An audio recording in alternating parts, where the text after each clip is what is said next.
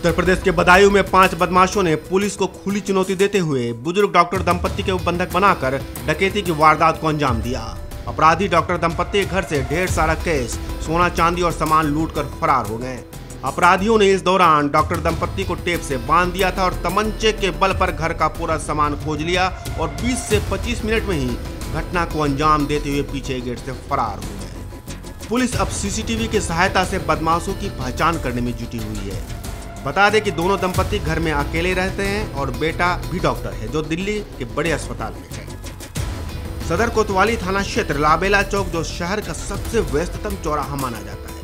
उसके पास स्थित doctor S N Govil की कोठी में पाँच हथियारबंद बदमाश शाम सात बजे घुसकर डकैती की वारदात को अंजाम दिया। डॉक्टर मृदला गोविल ने बदमाशों की संख्या पाँच छह बताई है। लाबेला चौक वो इलाका है, जो रोडवेज़ के समीप स्थित है और इस चौराहे पर हर समय पुलिस की पिकेट तथा कई सारे सिपाही कर्मी हमेशा तैनात रहते हैं।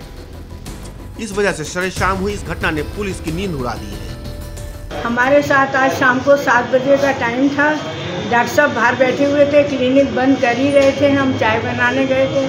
जैसे ही हम चाय बना के आए, डॉक्टर साहब को फ़ौरन चार पाँच लोग थे जो घसीटते हुए ड्राइंग रूम में ले गए। तब तक हम आ गए।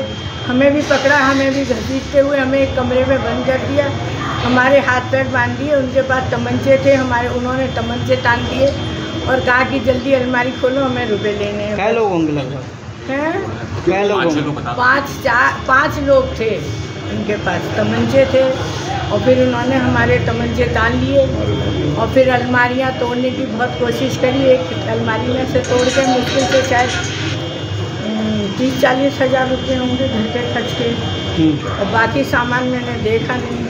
किस समय की है? ये शाम को सात बजे की घटना है। आपको हाथ पैर से बाँध दिया हाँ हमारे को हाथों से टेप से बाँध दिया था। जी जी। और हमारे पास आने वाले थे हमारे वकील साहब श्री तरित माथुर तो हमारे जब वो भागे तो किवाड़ बंद कर गए थे। हम फिर हाथ बंधे बंधे बाहर आए।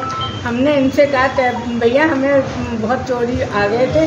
और उन्होंने हमने फिर दरवाज़ा बंधे हाथों से अपने हाथों से ये प्लास्टिक यहाँ पे बंधी हुई है दोनों के हाथों में टेप बाँध दिया था। और बस यही कह रहे थे कि अगर आपने चोरी करी तो हम डॉक्टर को गोली मार देंगे और इनके यहाँ पे तमंचा तान लिया। अच्छा कितनी उम्र के होंगे ये लड़के? उम्र मेरे ख्याल से 25 से लेके 35 के बीच के होंगे। अच्छा।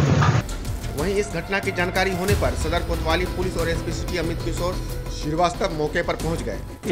थाना कोतवाली के अंतर्गत लावेला चौक और छह सड़का के बीच जोगीपुरा के पास डॉक्टर गोविल का आवास है। डॉक्टर साहब अपनी पत्नी के साथ यहाँ रहते हैं और आज शाम को दो, कुछ बदमाश इनके यहाँ मकान में आ गए और डॉक्टर साहब और उनकी पत्नी को किनारे करके और घर से कुछ सामान उन्होंने लूटपाट कर लिया है। इस संबंध में तत्काल पुलिस मौके पर आ गई है और प्रथम दृष्टिया हर पहलू की जाँच की जा रही है।